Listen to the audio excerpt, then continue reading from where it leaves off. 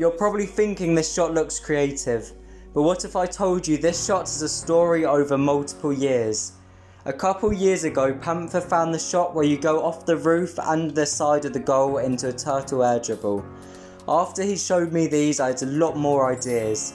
One of them going downwards from the top of the goal. I've scored goals going into turtles, but those aren't interesting. I've always wanted to score this setup as it's one I've tried for such a long time. It's very hard to get the air dribble off this as it requires a lot more boost at an awkward angle too. So I had a genius idea. What if I can do a pogo back up into an air dribble? But there's two problems. Boost management and how do I do the setup? Boost management seemed possible but the setup especially in game didn't.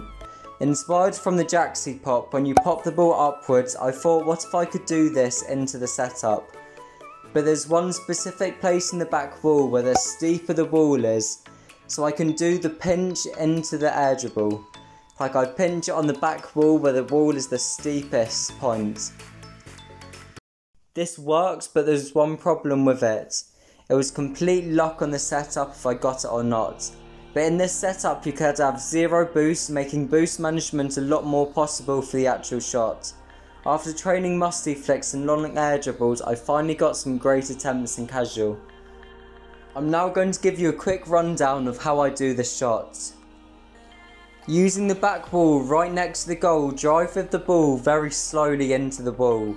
If you're lucky, this will pinch the ball upwards. It's completely RNG if the pinch is actually any good or not, so just be aware of that.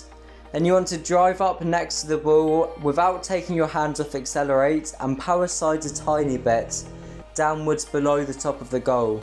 This would give you more speed into the pogo, making you get a higher like pogo to the ball sooner. This means you can have better boost management. But again, the pogo is kind of complete luck. But make sure you don't brake on the ball or hold off accelerate because this gives you momentum for the pogo. You then want to position your car for the pogo. This is another RNG as you either have a good pogo where you don't waste any boost at all, or you have a bad pogo where it doesn't pop you forwards and this makes it impossible to have boost management for the shot. After you get lucky twice in a row, then you still have to do a full field air dribble with very good boost management. After this you need a very good, extremely good musty, whilst basically being on the floor with good cam work. So in summary I wouldn't try this shot. And you do really need a good musty.